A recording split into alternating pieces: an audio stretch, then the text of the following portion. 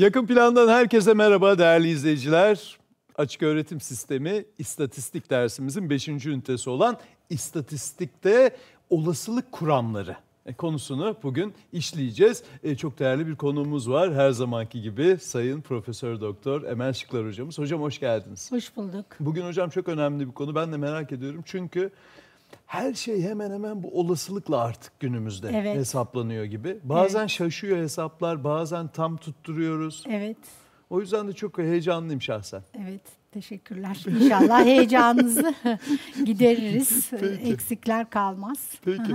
Ee, Önder ve Bilal de bizle her zamanki gibi. Arkadaşlar bu dersten geçme olasılığımız nedir?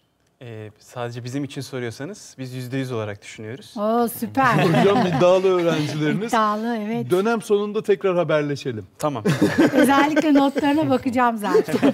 Ama şanslıyız hocam. Hani biz burada sizden direkt ders alıyoruz. O konuda şanslıyız. Peki Tamam. inşallah izleyicilerimiz de çok şanslı olurlar. Ben onlara bir hatırlatma yapayım ki sanki burada bizimle stüdyodaymış gibi bize katılsınlar. Değerli arkadaşlar elektronik posta adresimizden yakinplan.anadolu.edu.tr adresinden bize sorularınızı, görüşlerinizi, yorumlarınızı yazın ki birlikte hem öğrenelim hem de programımız zenginleşsin diyerek hocam ufak ufak konuya geçmek istiyorum. Bugün olasılık nedir, nasıl ölçülür, e, normalde bunları hatırımda tutmaya Evet, çalıştım. Bu konuları işleyeceğiz Evet, değil mi evet, hocam evet, temelde? tabii E, ilk soruyla da başlayalım o zaman hocam. Hem kolay hem zor herhalde. Siz arada öyle söylemiştiniz. Evet, Nedir bu olasılık? Evet. Ee, Şimdi bugünkü konumuz olasılık kuramı üzerine. Tabii olasılık kavramı nedir? Önce onu verip daha sonra olasılık hesaplama kurallarından çok yoğun kullanılan birkaç tane kuralı vereceğiz. Ama şunu bilsin ki öğrenci arkadaşlarım kitabımıza daha detaylı. Fakat siz de biliyorsunuz ki buradaki süremiz 40 dakika. 40 dakikaya sığdırabilmek için bazı kuralları ben burada üzerinde durmaya çalıştım. Daha sonra da çok önemli bir konu rastsal değişkenler ve olasılık dağılımları var. Onlara yer verebilmek için zamanımızı ayarlamak açısından ben şöyle başlayalım diyorum. Olasılığın tanımıyla başlarsak eğer olasılık bir olayın ortaya çıkma şansını ifade eden sıfır ile bir kapalı aralığında bir değerdir. Biraz önce siz Hakan Hocam dediniz ki hocam bugün yağmur yağıyor. Ee, ben pikniğe gitmek istiyorum. Bu konudaki yor ee, tabii yağmur yağıyor dışarısı yağmurlu. Pikniğe gittiğinizde ıslanma olasılığınız birdir sizin. Bu belirli artık kaçma şansınız yok. Ama e, bu yağmurda e, güneş açması şu anda sıfırdır. Çünkü sağanak yağmur yağıyor. Dolayısıyla olasılıktan söz ederken biz alabileceği bu limitleri az limit değerleri asla göz önünden ayırmayalım, unutmayalım. Olasılık e, herhangi bir olayın meydana gelme olasılığı PA ile gösteriyoruz. PA 1 ile 0 kapalı aralığı dediğimiz yani 1'e de eşit olabiliyor, 0'a da eşit olabiliyor. Ve 1 ile 0 arasında değer alır. Şimdi olasılığı klasik olasılık olarak e, e, tanımlamak istersek bir olayın gerçekleşme olasılığı ilgilenilen sonuçların sayısının olası tüm sonuçların sayısına bölünmesiyle hesaplanır. Şimdi formülde gördüğünüz üzere PA, A olayının meydana gelme olasılığı, e, ilgilenilen sonuçların sayısını küçük n'le gösteriyoruz. Ama tüm sonuçların sayısını da büyük n'le gösterdiğimizde A olayının meydana gelme olasılığı küçük n bölü büyük n olarak e, geçiyor. Peki na- nasıl e, bir örnek verebilir misiniz diye sanki Bilal bana bakıyor. Şimdi Hocam siz de o sınıfta- sesleri duymaya Evet. başladınız. e, tanıyoruz artık çünkü çalışarak hazırlanarak geliyorlar. E, çok da şanslıyız bu yönden. Mesela bir sınıfta 100 kişi var. 100 kişinin içinde 25 kişi gözlük kullanıyor. Bu sınıfta gözlük kullananların olasılığı veya oranı kaçtır diye sorarsam ne dersin? Hocam gözlüklü arkadaşlarımızın sayısı 25 olduğu için e, 25 bölü tüm öğrencilerin sayısı da 100 olduğu Yani için. n 25 Evet değil hocam. mi? Evet hocam. Büyük n 100. diyorsun 100. Sınıfımız 100 Evet. kişi olduğu için. PA o halde gözlük kullananların oranı ne olur? Bir bölü 25 dört. bölü yüzden 1 bölü 4 yani 0.25 25 olur. Evet. Klasik olasılık basitçe tanımlayacağımız bu. Hocam benim yağmur olayına gelince ya iyimser olsaydık yani ıslanacağımız kesin ama sonra ya güneş açarsa bu çok iyimser olmak olasılığı ama? İyims tabii ki olasılığı ama şu an değil ama belki bir 10 dakika sonra yağmur kesilme olasılığı yüzde 10 diyebiliriz. Peki. Çünkü çok kapalı, bulutlu bir hava var şu anda Eskişehir'de. Son soru bir de kapıda beklerken bir şey için mesela bizim Eskişehir'deki tiyatro salonları böyle dolu oluyor. Evet. Hep böyle kapıda birileri bekliyor. Son dakikada bir iptal oluyor. Hızlı tren için, Evet, başka aynen, şeyler için de aynen. o olasılıklarla Tabii, yaşıyoruz o çoğu zaman. Kesinlikle. Hayatımız aslında farkında olmadan e, ifadelerimizi bir gözden geçirirsek hep bu olasılığa dayandırıyoruz. hiç mi yok? Hiç mi yok? Yani olma olasılığı hiç mi yok? Son anda tren e, istasyonuna gidip ben çok biliyorum ki hani gişeden değiştirebilme şansım belki var. Yüzde beş bile olsa gidip deneyeyim diye. Ee, tabii ki sürekli hayatımızın aslında içinde farkında olarak veya olmayarak sürekli bu olasılık e, kurallarına dayalı yaşıyoruz aslında. Peki hocam sağ olun. Evet. Şimdi bir de ikinci kavramımız olasılık kavramlarından deneysel olasılık. Ee, geçmişte ortaya çıkan olayların sayısını f ile ve toplam gözlem sayısı n ile belirtildiğinde bir A olayının gerçekleşme olasılığı f bölü n olarak buluyoruz. Ne anlıyoruz bundan diye düşünürsek eğer mesela bir e, fabrikada geçmişte bin tane bir ürün üretim sırasında 100 tanesi örnek alınmış ve içinden ö- 15 tanesi kusurlu çıkmış. Dolayısıyla bu işte ortaya çıkan geçmişte ortaya çıkan olayların sayısı dedik ya. F oradaki 15 hatalı ürün sayısı. Kaç tanenin içinde? 100 100 tanenin içinde. Dolayısıyla biz 15 bölü 100 olarak bu olasılığı hesaplayabiliyoruz. İşte biz buna deneysel olasılık adını veriyoruz arkadaşlar. Sorunuz var mı bu arada? Hocam sonucu bulduğumuz zaman e, 0 ile 1 kapalı aralığındaki değerler olmasına göre kontrol edersek e, işlemin doğruluğunu da garanti etmiş oluyoruz Evet galiba. çok haklısınız. Bazen e, sınavlarda özellikle yapıyor öğrenci arkadaşlarımız. Aceleyle 0.15 bulması gerekirken bir buçuk buldunuz örneğin. Evet. Ama şunu hatırlamak gerekir. Hemen olasılık sıfırla bir arasında değer alacak. Bakıyorum bir buçuk buldum. Hemen benim bu e, yanıtım yanlış. Tekrar işlemimi gözden geçirmem gerekiyor ki şu kuralı hep akılda tutarak. Sınavda çıkma olasılığı da her zaman mevcut. Epey çok. çok. evet. Ee, Gelelim üçüncü bir kavram olasılıkta yine öznel olasılık. Belirli bir olayın gerçekleşme olasılığının eldeki mevcut bilgilere dayalı olarak belen- belirlendiği olasılık yaklaşımıdır. Bunlar böyle e, kitabımızda daha devam ediyor bu olasılıklarla ilgili ta- kavramlar. Ama biraz önce de söyledim arkadaşlar. Siz onları detaylı olarak çalışın ama burada benim çok acil üzerinde vurgulama yapmak istediğim konular var. Onun için çok ayrıntıya girmeden devam edelim diyorum. Bir iki kural var. Olmazsa olmaz ve sürekli karşımıza çıkan. Onları da hatırlatalım diyorum. Ee, özel toplama kuralı. Yalnızca karşılıklı ayrık olaylar için kullanılabilir bu özel toplama kuralı. Ee, A veya B'nin meydana gelme olasılığı demektir. Bakın şuradaki kavramın anlamı A veya B'nin meydana gelme olasılığı. Dediğimiz takdirde e, matematik dersinden de hatırlarsınız aslında. Veya olduğu zaman hani birleşim aslında Evet. biliyor musunuz? Evet hocam. Hatırladınız değil mi arkadaşlar? Birleşim bu. Evet. O, o halde biz toplama yapıyoruz. İşte oradan hatırlayın.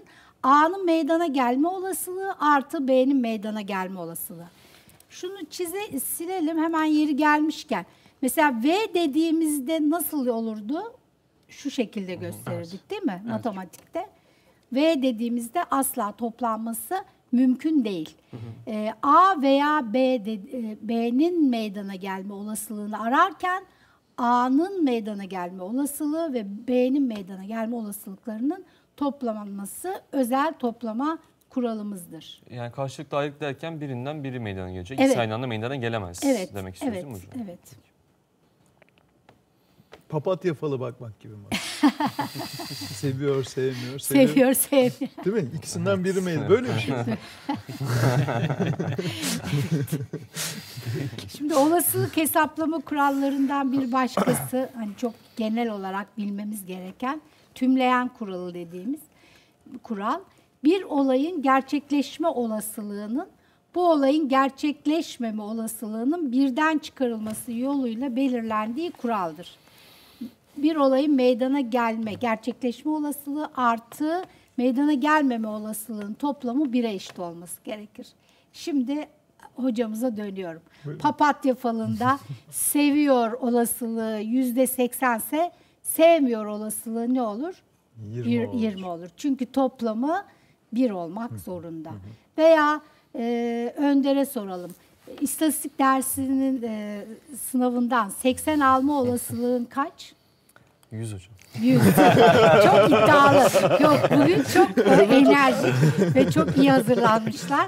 Onun için e, evet.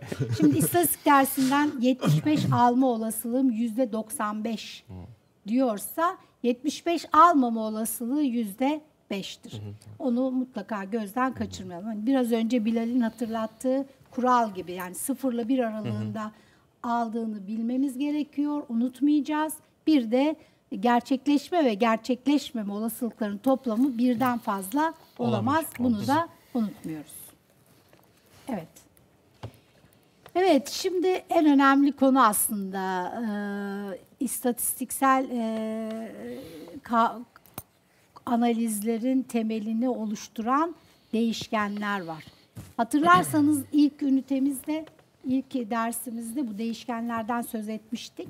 Şimdi değişkenin başka bir kavra e, tanımına giriyoruz ve artık bundan sonra örneklemeye de başlayacağımız için bu rastsal değişken kavramı önemli arkadaşlar. Ve Zaten rastsal değişkenler ve olasılık dağılımları diye bir başlık koyduk. Rastsal değişken nedir? Rastsal nedir sizce? Rastsal kelimesi size ne çağrıştırır? Ya olasılıkla ilgili bir kavram hocam. Olasılıksal değil mi? Ya tutarsa? Ee, ya tutarsa demeyelim hocam ona. Ee, olasılık kurallarına uygun veya eskiden e, jargonda rastgele denirdi. veya daha da eskilerde tabii genç Tesadüfi. arkadaşlarımız bilmez onları çok gençler tesadüfi. Ama hala biz halk dilinde, konuşma dilinde tesadüfen diye kelimeyi kullanıyoruz Evet. açıkçası. Herhalde sizler de kullanıyorsunuz. İşte artık bu oturdu günümüzde e, rastsal değişken şeklinde e, tanımlıyoruz. Ne peki bu? Denemeden denemeye farklı değerler alan ve aldığı bu değerleri belli bir olasılıkla bakın olan değişkenlerdir. Ee, Önder'in söylediği gibi yani rastsal deyince olasılıksal olarak e, düşüneceğiz. Hemen aklımıza gelecek. Peki bu rastsal değişkenler kaça ayrılıyor? Kesikli ve sürekli olmak üzere pardon ikiye ayrılıyor. Hatırlıyor musunuz? Nicel değişkenler, nitel değişkenler diye birinci ünitede anlatmıştık. Ve nitel de, nicel değişkenleri de ikiye ayırmıştık Evet. kesikli ve sayısal. Artık biz burada daha da bir ileri adım attık.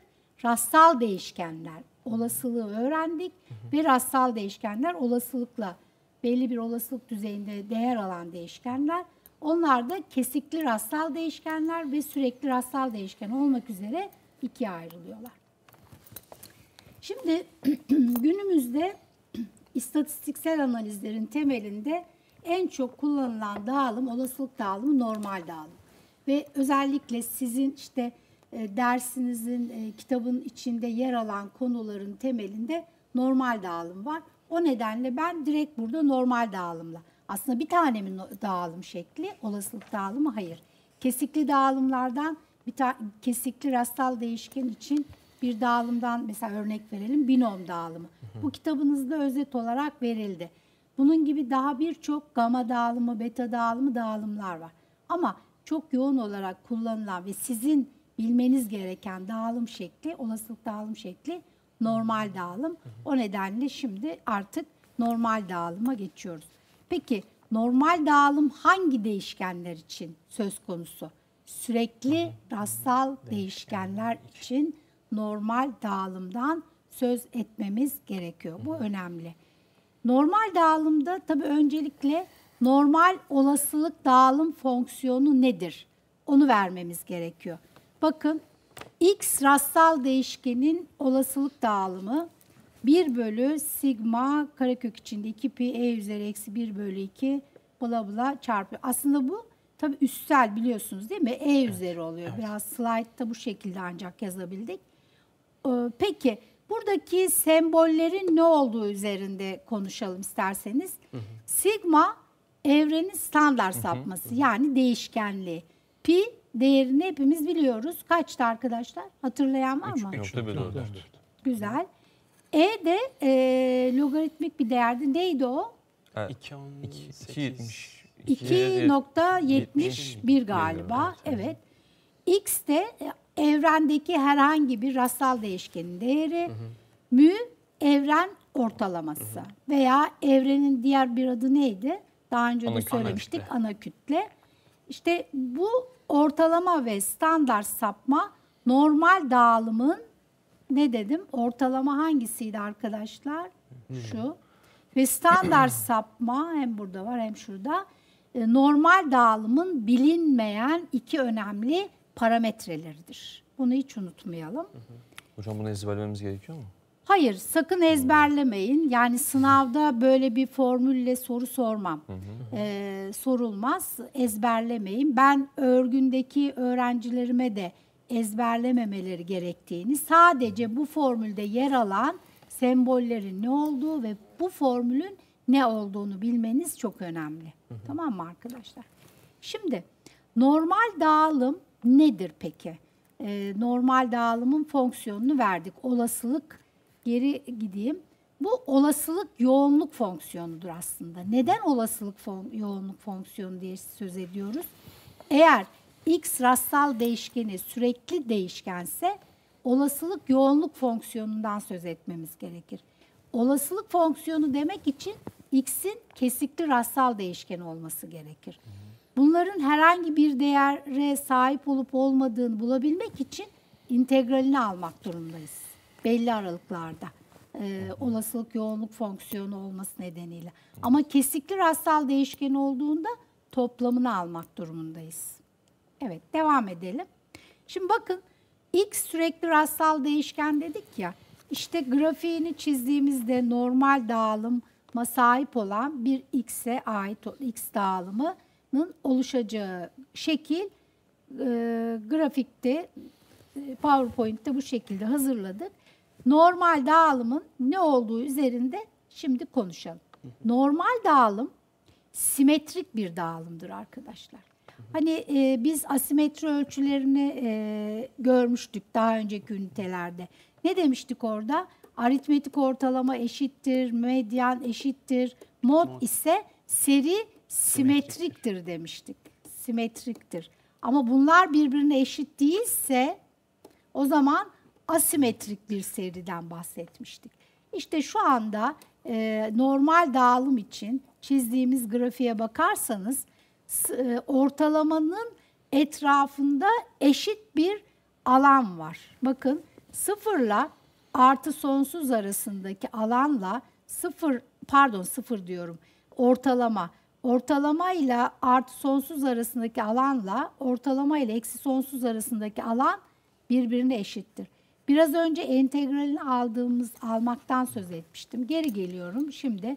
Şu anda söyle söz ettiğim olay eksi sonsuz artı sonsuz aralığında 1 bölü sigma karekök içinde 2 pi e üzeri eksi 1 bölü 2 çarpı x eksi mü bölü sigmanın karesi diye. Şimdi burada dx integralini aldığımızda bunun 1'e eşit olması demek bu fonksiyonun normal olasılık yoğunluk fonksiyonu olduğunu gösteriyor demektir. Peki ne anlam ifade ediyor? 1'e eşit olması demek X rastsal normal dağılıma sahip olan X rastsal değişkeninin e, için çizilen eğri altındaki alanın bire eşit olması gerekiyor. İşte olasılık kuramını burada uyguluyoruz bakın. E, eksi sonsuz artı sonsuz aralığında x rastsal değişkeni normal dağılıma sahip olan x rastsal değişkeni eğrisini çizdiğimizde bu eğri altındaki kalan alan 1'e eşittir.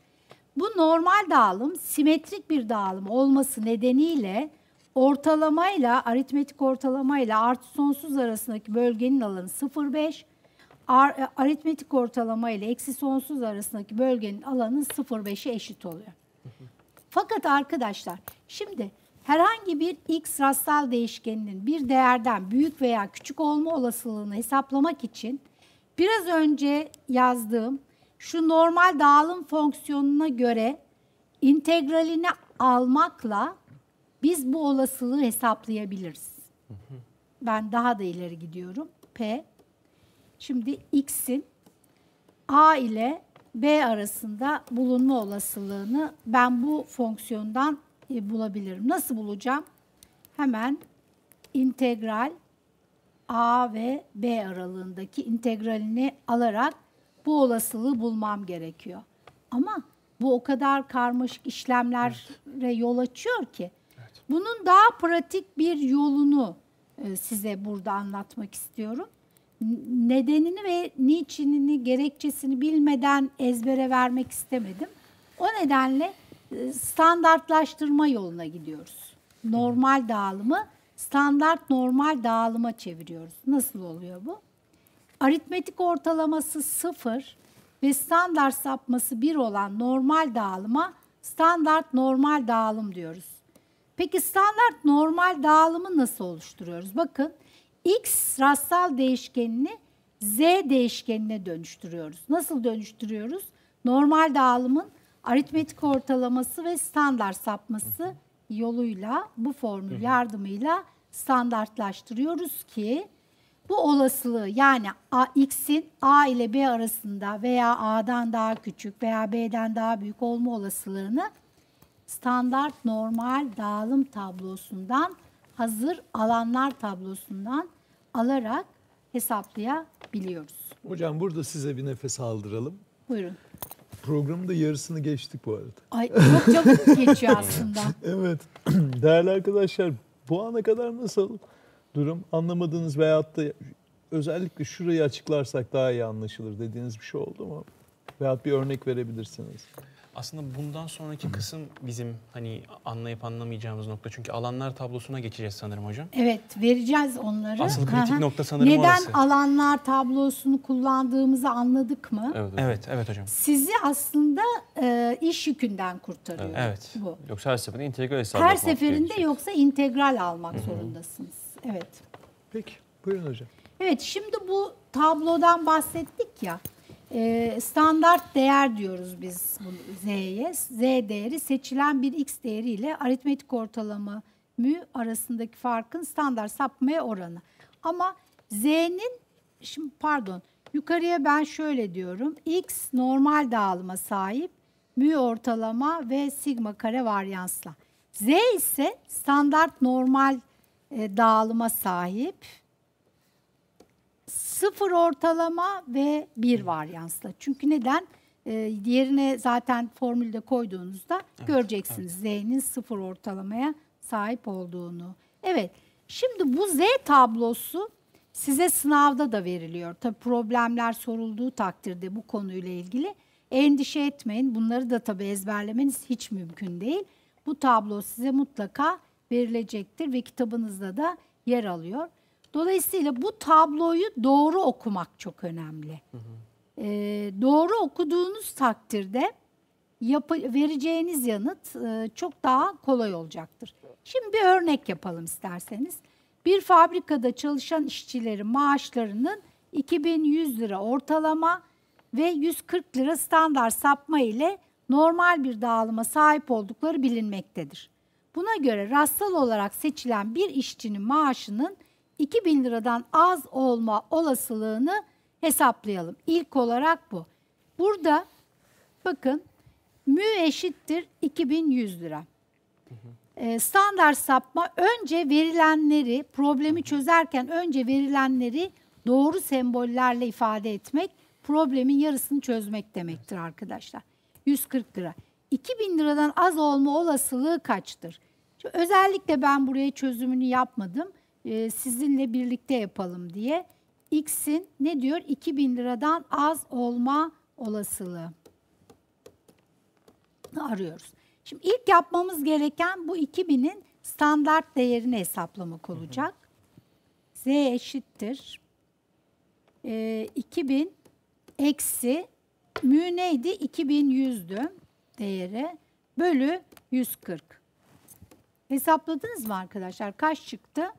100 bölü eksi 100 bölü Eksi 0.71 hocam. 140 eksi pardon eksisi var. Eksi 0.71. Şimdi bu tür soruları da özellikle size tavsiyem şu.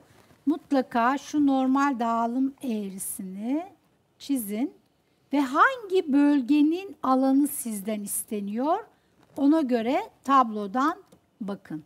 Şimdi 2000'den küçük olma olasılığı demek eksi 0.71'den daha küçük olma olasılığı demektir. Eksi 0.71 şurada ve biz, bizden istenen olasılık işte buradaki yani eksi 0.71 ile eksi sonsuz arasındaki bölgenin Alan. alan değeridir.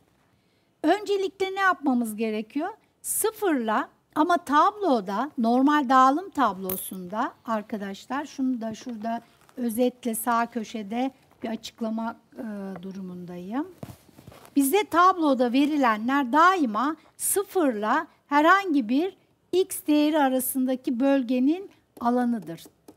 Tabloda verilen değerler. Asla sıfırla ve örneğin bir buçuk arasındaki değer. Ama sıfırla eksi bir buçuk diye bölgede e, bölgenin alanı diye ararsanız öyle eksi bir buçuk diye bir şey yok. Ama simetrik bir dağılım olması nedeniyle sıfırla bir buçuk arasındaki alan değeriyle bölgenin alanıyla sıfırla eksi bir buçuk arasındaki bölgenin alanı birbirine eşittir. Bu özelliği bildiğinize göre artık tablodan siz önce sorumuza deva- bakalım. Sıfırla e, taramadığım şu bölgenin alanını, şurasını sıfırla 0.71 arasındaki bölgenin alanını bulacağız. Daha sonra taralı bölgenin alanı bizden istenen sorunun yanıtı 0.10'da 5'ten çıkartacağız. Bakalım tabloya. Tablo bir önceydi. Evet 0.71 Z şu dikey sütunda ilkte Z değerlerimiz var. 0.7 ondalık. Ama yüzdelik olan hane şurada 0.71 bakın ne oldu? 0.2611 bakabildik değil mi? Evet. Bu 0.2611 nerenin alanı? 0 ile eksi 0.71 arasındaki bölgenin alanıdır. Ben eksi 0.71 ile eksi sonsuz arasındaki bölgenin alanını hesaplayabilmem için o halde 0 ile eksi sonsuz arasındaki bölgenin alanı 0.10'da 5'ti ve 0 26.11'i çıkarttığımızda 0.2389 hocam. 3 mü? Evet. 23.89. 23.89. O halde bizim doğru yanıtımız cevap e, sorumuzun doğru yanıtı yüzde 23.89 olacaktır. X'in 2000 liradan e, az olma olasılığı bu şekilde hesaplıyoruz. Eksi sonsuzla eksi 0.71 ara- arasındaki alanı hesaplamamızın sebebi küçüktür sembolü olmalı. Evet, evet. hocam? Küçük Büyük için. olsaydı Şimdi diğer tarafı. Örneğin ben biraz önceki der, e, soru örnekle ilgili bir başka şurada e, devam edelim mi? Ha, sizin sorunuza e, cevap olsun diye böyle bir e, soru da var. 2250 liradan fazla, Fazla olma olma olasılığı. Bunu bakın beraber çözelim. Tabii. Hemen z eşittir 2250 eksi 2100 standart değerini hesaplıyoruz. 140. Bu kez artı değil mi? 150 bölü 140 oldu. Kaç bulduk? Hocam 1 nokta- yaklaşık 1.07. 1.07. Şimdi P e, X'in 2250'den büyük olma olasılığı istendiğine göre grafikte hemen şöyle acele çizelim. Zamanımız az kaldı galiba. Eksi sonsuz artı sonsuz. Bakın grafik çizmeden asla hemen çözüm yapmıyorum. Çünkü yanılabilirim diye düşünüyorum. 0 ortalama 1.07.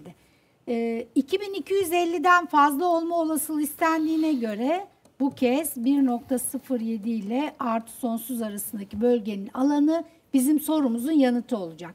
0 ile 1.07 arasındaki bölgenin alanına bakalım. Tekrar tabloya dönelim.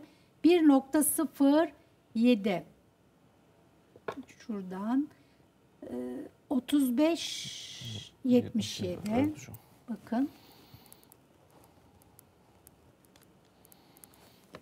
şurası taramadığım alan 0 35 77 dedim değil mi?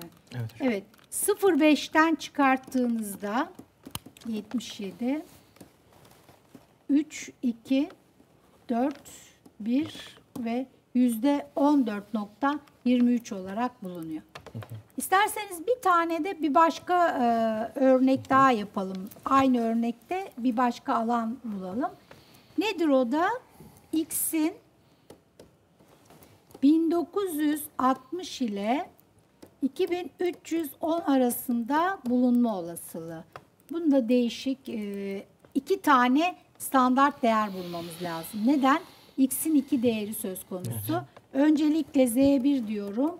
1960 eksi 2100 bölü 140 Eksi 1 geliyor galiba. eksi 1 mi?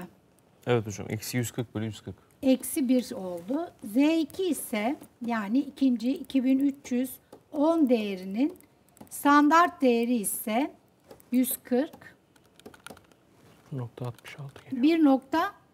1.66. 0.66 galiba hocam. Ee, Bir buçuk hocam. Bir, Bir buçuk. buçuk. Hı. 210 bölü 140. Tamam 1.5. Ha evet evet pardon. Evet hemen grafik üzerinde artık hangi bölgenin alanı bizden isteniyor onu size gösterelim pratik olarak. Bakın böyle grafik çizdiğinizde çok daha rahat görebiliyorsunuz hangi alan istendiğini. Eksi 1 ile Eksi 1. Şey 1 bir buçuk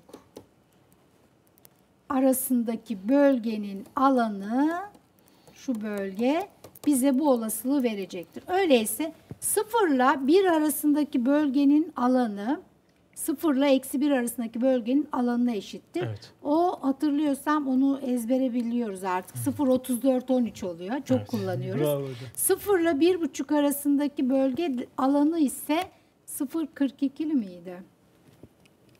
Bir buçuk. Evet 43 32. Size ezberlemeyin diyoruz ama bizim artık e, işlemiş kafamıza. Evet bu olasılığı bulabilmek için demek ki bu iki bölgenin toplamını almamız gerekiyor. Bu iki bölgenin alan değerlerini topladığımızda bu olasılığımız hesaplanıyor. Kaç çıkarttınız? Topladınız mı? 0.7745 buldum. Yüzde? Ben. Evet hocam. Hı hı. Yüzde 77,45. 77.45 olarak bulundu. Yani herhalde e, eğer biz standart normal dağılım tablosunu kullanmayı, okumayı, doğru okumayı bilirsek bu soruların yanıtında zorlanmayacağız diye Evet. düşünüyorum. Değil mi arkadaşlar? Evet. Evet. Hocam çok teşekkürler. Hem de e, çok da pratik çözdünüz. Arkadaşlar ara sıra durdurup geriye dönüp tekrar soruyu bence izleyecekler. Evet. Hocam evet. e, sürem çok azaldı. Son 5 dakikam arkadaşlar. Fakat böyle özellikle hani vermek istediğiniz bir örnek varsa hocam onu da alabiliriz. Veyahut arkadaşlarımızın bir sorusu varsa ya da özellikle özetlemek, vurgulamak istediğiniz bir şey varsa onlara değinip bitirelim hocam. Evet. Hocam sanırım şuna dikkat etmek gerekiyor. Z değerinin eksi veya artı ol- olup olmadığını dikkat etmek gerekiyor. Doğru mu? Evet çok yani haklısın. yanlışlıkla eksi bir yerine artı bir bulsaydı çok daha düşük bir o olasılık zaman olacaktı. çok farklı bir sonuç ortaya o da seçeneklerde yer alacaktı muhtemelen Evet. sınavda. Örneğin mesela bir- şu şöyle bir soru da sorulabilirdi. İyi ki aklıma getirdin. Ee, 2310'dan X değerinin 2310'dan ik- 2310 liradan daha düşük olma olasılığı sorulsa nasıl cevaplamamız gerekirdi? Birden çıkararak. Evet, değil mi? 2310 değerini biliyoruz. 2310 değerini hemen Birden ne yapacağız? olasılığı. 2310 değerinin e, Standart standart değeri bir buçuk zaten. Ben hemen bunu siliyorum bak Bilal. Eğer öyle ezbere yine hiç grafik çizmeden cevaplamaya kalkarsa öğrenci arkadaşlarımız belki yanılabilir. Pratik yönünü hemen şöyle gösterelim. Eksi sonsuz artı sonsuz aralığında yine sıfır ortalama ve bir buçuk. Ne dedim ben? Bir buçuktan şey pardon 2310 2310 liradan düşük olma, daha az olma olasılığı.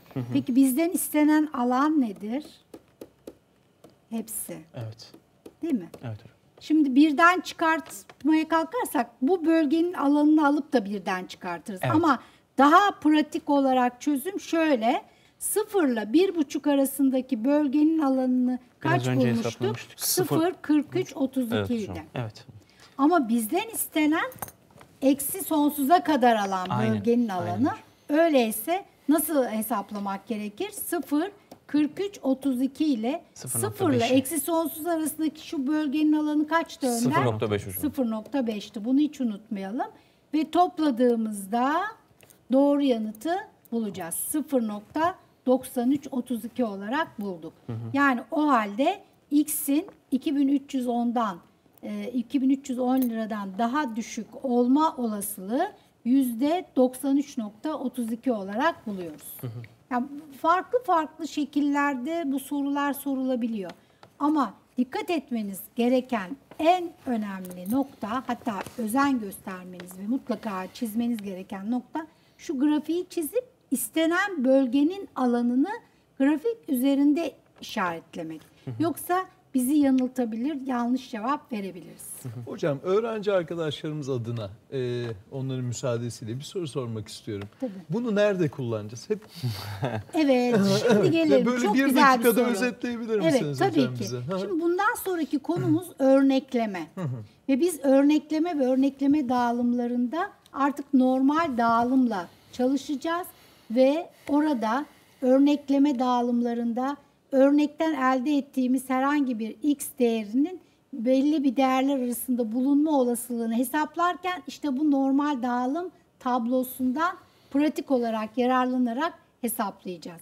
Güven sınırlarının hesaplanmasında, hipotez testlerinin yani istatistiksel karar verirken yine bu tabloyu kullanacağız. Yani örnekleme konusunu anlayabilmemiz, için kavrayabilmemiz, mutlaka- çalışabilmek için Evet, bu konuyu bu Z öğrenmemiz tablosunu gerekiyor. çok iyi bilmek gerekiyor. Z tablosunu doğru okumak gerekiyor. Bilmek derken a- amacım bu. Doğru okumak gerekiyor. Peki arkadaşlar bitirmeden şu soruyu da muhakkak sorayım dediğiniz bir şey var mı?